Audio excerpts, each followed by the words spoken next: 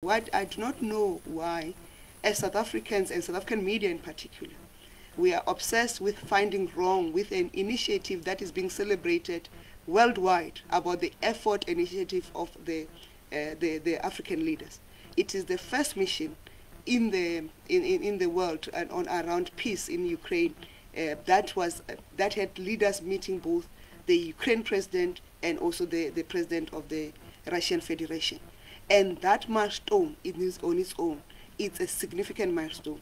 And also the matters that have been discussed, which the President has also articulated in the uh, podcast that we've shared, to say these are the issues we've articulated to them. They are going to come back on the matters.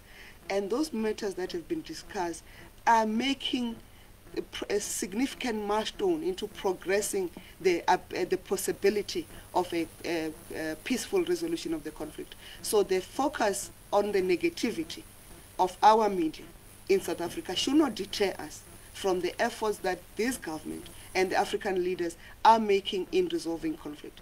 And it is for the first time that African leaders get involved in a resolution of a conflict in Europe. It has always been Europeans involved in resolving, resolving conflicts in Africa. And the first time that Africans took the initiative where others have dared not go.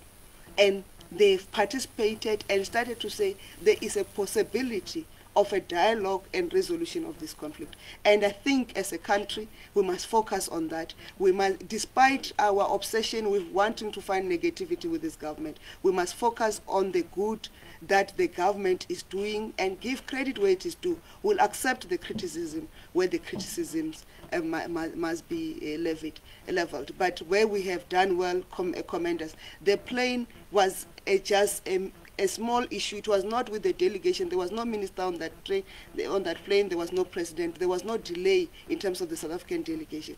And why we took the media delegation was to want to seek to provide you a different view of what was happening.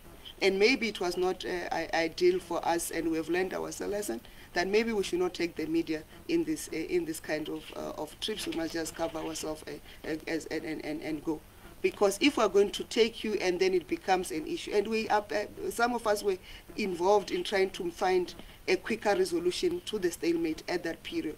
But we have made efforts.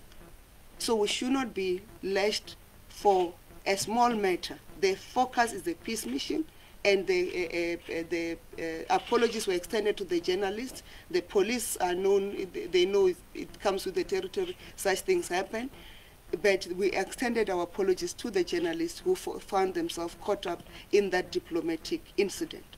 But the mission, the peace mission was successful and I'll plead to South Africans to focus on what will build a better world as a, and the contribution of South Africa in building such a better world.